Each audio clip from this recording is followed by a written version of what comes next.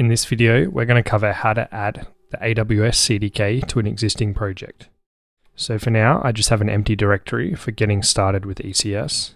And first, we're just going to install a fresh Laravel project. We're going to use Laravel because it's one of the most popular web frameworks, and it's also configured in a way that's going to let us easily build our architecture that we covered in the last lesson. So I'm on Mac, so to install a new Laravel project, I'm just going to copy this command from the documentation. Um, I'm just going to call it example app because it's just an example app. Cool. Now that that is installed, let's check our directory and cd into our example app. And then we have a fresh Laravel project installed. So what I'm going to do is make a directory called CDK just in the root level here and move into that CDK. And then let's have a look at the AWS documentation.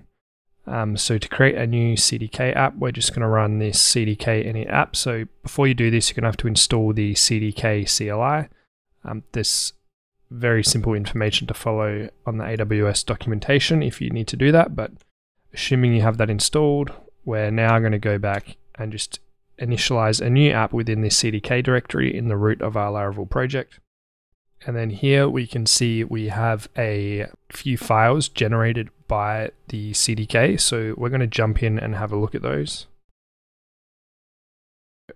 We're just going to jump into this CDK JSON to start with.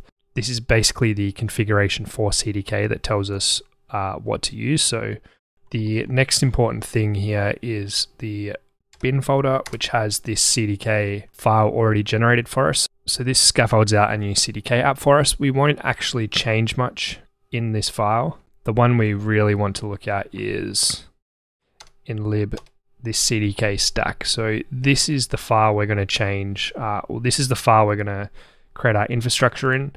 And yeah, we'll see how to do that in the next lessons to build out the architecture we went over in the last lesson. But um, for now, you can go through and you can delete the git, git ignore, and npm ignore. You can delete the readme. We won't use Jest. We won't run tests in CDK because this is not a deep dive into CDK.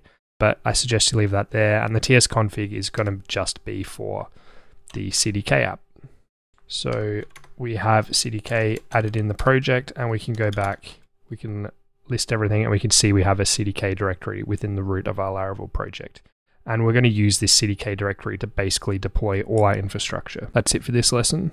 In our next lesson, we'll go over the basics of containers before we start getting into actually building some infrastructure with the CDK.